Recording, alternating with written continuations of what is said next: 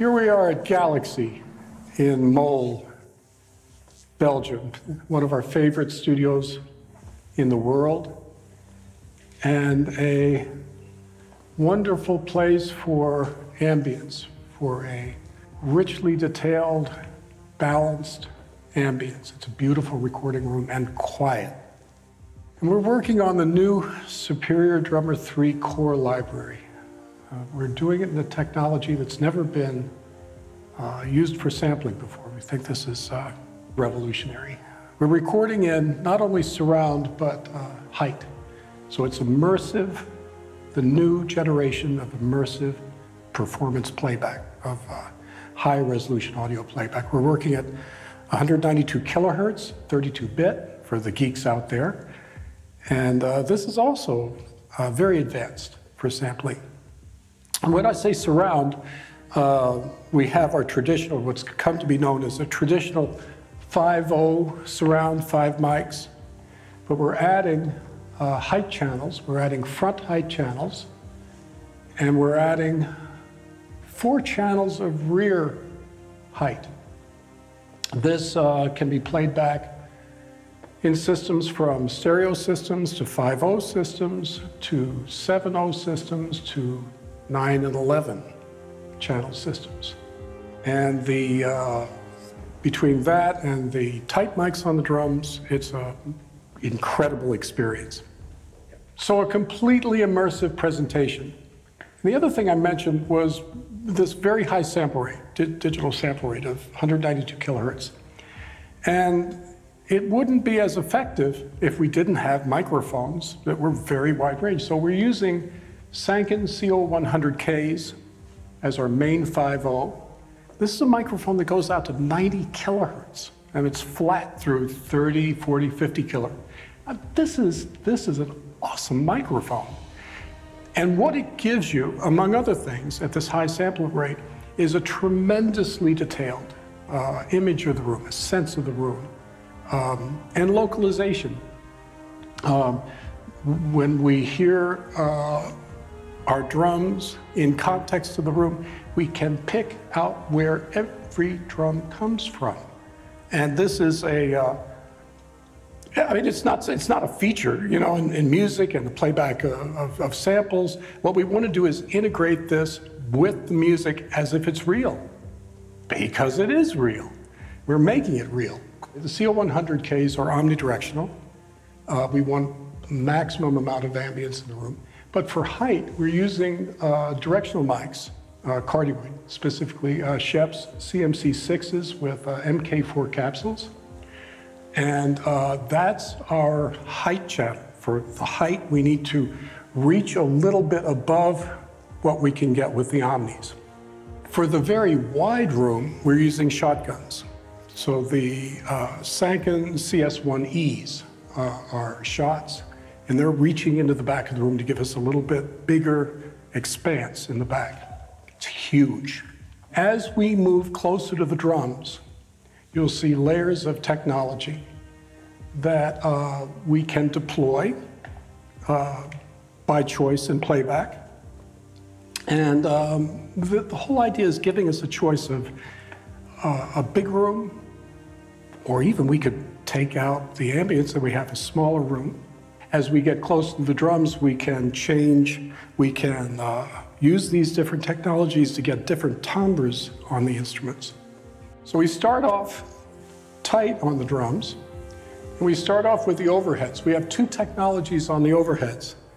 We have an extremely linear cardioid, uh, which is a Sanken uh, CU44X.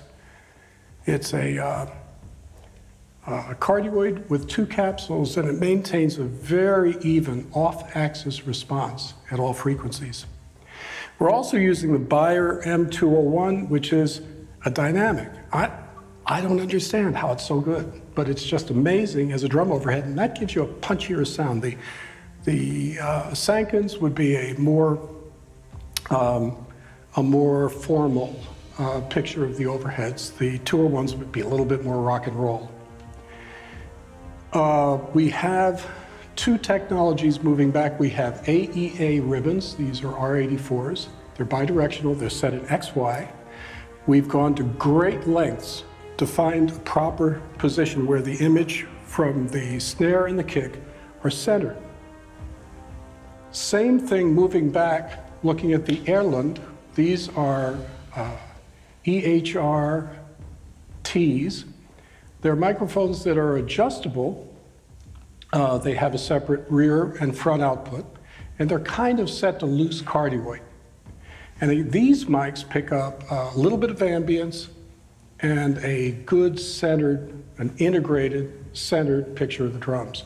We went to great lengths to, to center each drum so that it uh, uh, plays back as a, as a linear presentation, if you will, a balanced presentation. The kick mic uh, is a Sennheiser uh, E902, 902E, uh, very punchy and right up against the front head. Also using uh, our favorite kick mic uh, as a mic outside the drum, a U47 FET, and a Yamaha sub bass. Each gives you a slightly different impression of a kick. Uh, uh, fills each fills in another's. I don't want to say failings, but uh, the gap in the other microphones. These are. This is a balanced presentation of a kick, and the effect is is to make it bigger. The snare drum we're doing something new. We have a traditional dynamic on the top, which is an old, old Sennheiser MD431. I've used this for 30 years, 40 years. But underneath the snare drum, we're doing something a little different. We have a stereo pickup. These are two modified KM84s. They're modified for very low gain uh, because it's very loud under there. And it's also modification that extends the frequency response. The effect of this is to have a snare that uh, you can get very tight into, uh, uh, maybe without any ambience, and have something with great uh, uh, width and saturation. The, the snares are even more dense for having two pickups. We add to that uh, another KM84 hi-hat mic, and Norman has been so kind as to really center his playing so we can get it exactly where we want for a, cool hi-hat sound. And we're adding Erlund uh, tom-tom mics uh, on the top toms.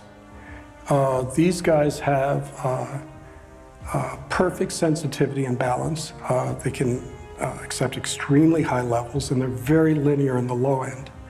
But adding that and the overheads and the ambience gives you a tom from God. I mean, it's huge with protein and everything. And the effect is um, that you can fit in exactly what you need in your picture of a mix. It can be as punchy or as uh, fat, and in each sense can be can have all these different timbres, from warm to very crisp and bright. This has been uh, a dream of mine uh, because I've, I've used uh, Superior Drummer for years and years and years. It's my go-to sample library. And uh, I've dreamed of having this very drum set with this kind of quality and, and resolution for years and years and years. So I, I feel like I've died and gone to heaven. But this is, this is, uh, this is the future.